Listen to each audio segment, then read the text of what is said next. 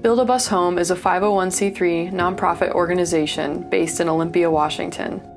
They opened their services to the unsheltered and waterless community in July of 2020, offering mobile showers and essential care resources to provide a way for municipalities in Thurston County to meet basic hygiene needs and reduce the health and environmental impacts of some of the most at risk homeless residents.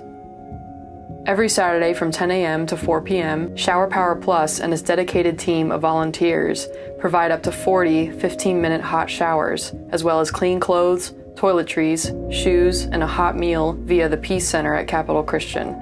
I've been coming here ever since they started. Everything they're doing is free, and I mean, it's just amazing what they're doing for people. It is estimated that as many as 30,000 houseless people live in Washington state. Based on data from Thurston County's 2020 point in time homeless report, the houseless population deals with mental and physical setbacks and continues to feel abandoned.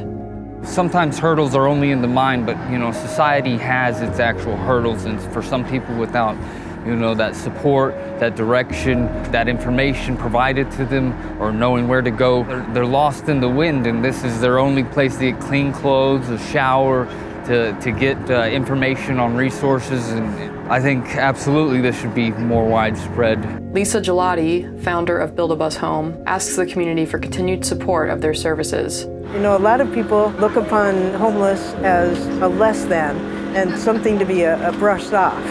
We don't look at people like that. We look at people as people. And we treat them just like we want to be treated. You know, we're growing. And so we're trying to make a big village, you know, and get everybody's need met.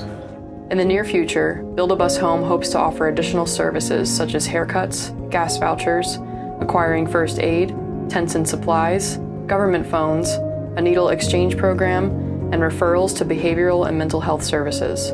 Anyone that really has a need and sees that the homeless and the waterless need help, if you're waiting for a bureaucracy to take care of these people, it's not working too well.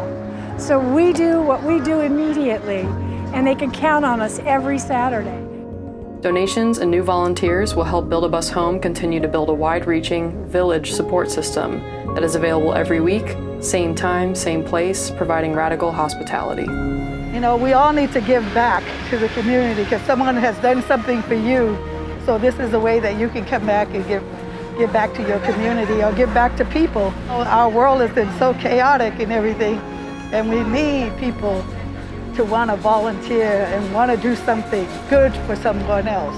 We're building community. We're helping each other feel connected. As humans, we all need that connection. And so the volunteers are the backbone